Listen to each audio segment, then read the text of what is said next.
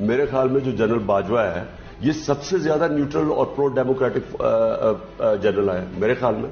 एक एस्टेब्लिशमेंट होती है जनरल जिया की, एक होती है जनरल मुशरफ की, एक है जनरल बाजवा। टोटली एक डेमोक्रेटिक गवर्नमेंट के साथ खड़े हैं। जनरल बाजवा ने जिस तरह इस हुकूमत की मुश्किल वक्त में मदद की, जिस तरह उसने हमारे साथ, मैं ये कहना चाहता हूँ आज सारी मेरी फॉरेन पॉलिसी को आज पाकिस्तान पाकिस्तान की फौज और जनरल बाजवा हमारे साथ खड़े रहे हैं। जनरल बाजवा को मैं आज एक उनकी तारीफ़ करता हूँ। क्या तारीफ़ है? मुझे पता है कि मैं पुराने आर्मी चीफ्स को भी जानता था। इस तरह करके किसी आर्मी चीफ को अटैक करना जी।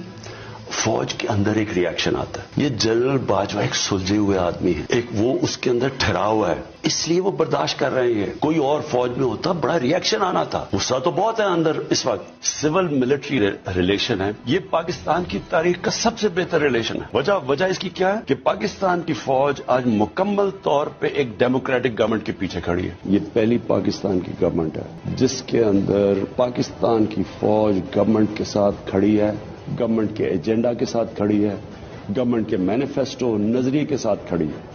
जो फौज को बुरा भला कहता है, जिस तरह वो नवाज़ शरीफ और उसकी बेटी ने इसको अटैक किया फौज को और आर्मी चीफ को, वो फौज का नुकसान नहीं कर रहे वो पाकिस्तान का नुकसान कर क्या पाकिस्तान के आर्मी चीफ और आईएसआई चीफ को आप हिट कर रहे हैं और फौज को कह रहे हैं कि इनके खिलाफ बगावत करो? तो क्या समझते हैं आप ये गद्दारी?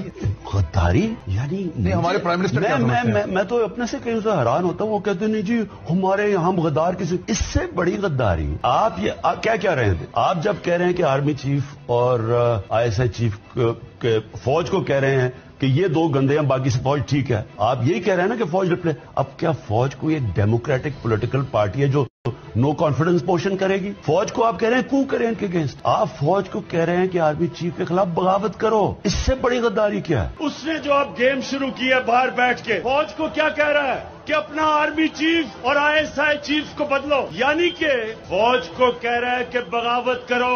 अपना पैसा बचाने के लिए लंदन में बैठ के फौज को कह रहा है कि बगावत करो आर्मी चीफ के खिलाफ। इससे ज़्यादा बड़ा मुल्क का दुश्मन कौन हो सकता है?